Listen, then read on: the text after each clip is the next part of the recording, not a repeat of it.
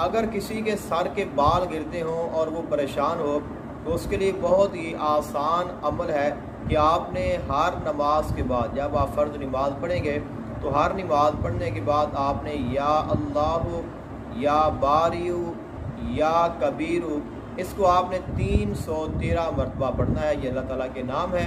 और इन नामों को आपने हर नमाज़ के बाद तीन सौ तेरह मरतबा पढ़ना है।